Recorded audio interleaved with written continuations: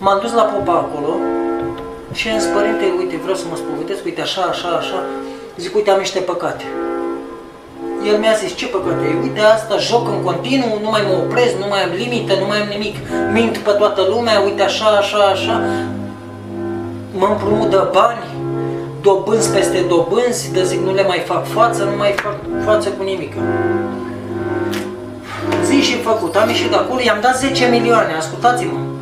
Deci din banii aia 100 i-am lăsat 10 milioane. Bă, și ce zic, zic, dă-l în pula mea de popă și de tot că-mi bag pula în nația lui, ies acolo, ies de acolo, din biserică, parcă zici că mi-a venit starea înapoi. Urc sus la AFI. Bă, pierd 30 de milioane de ei, plec în Vitan iar. Bă, plec în Vitan, băi mânca pe Am pierdut acolo la Vitan toți banii.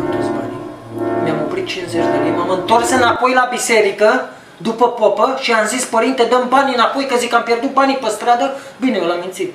Zic că am pierdut banii pe stradă acum, zic, m-am nenorocit. Dăm banii înapoi! Dăm banii că nu mai pot.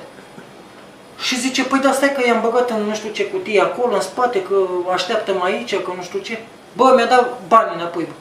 Deci atât de nenorocit am putut să fiu mai și am cerut banii înapoi. Dă băga mea și pula în morții tăi și nația mătii. Dăm bani în pula.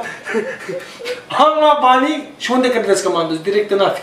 Am pierdut și banii aia. Dacă nu l-am blestemat în ziua aia și mi-am băgat pula în rasa lui și în gura lui și în toată călăuzimea din el, că nu mai suportăm.